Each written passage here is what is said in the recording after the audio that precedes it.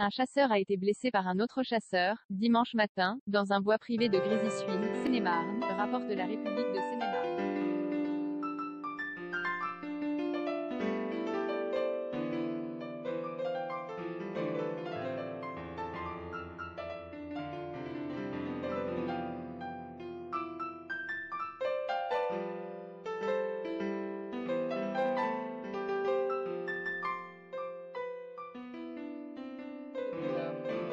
Son pronostic vital n'est cependant pas engagé. Un accident, une enquête a été ouverte par la compagnie de gendarmerie de Melun. Les militaires vont devoir identifier la personne à l'origine du coup de feu. Il pourrait s'agir d'un accident, mais les enquêteurs n'écartent aucune piste.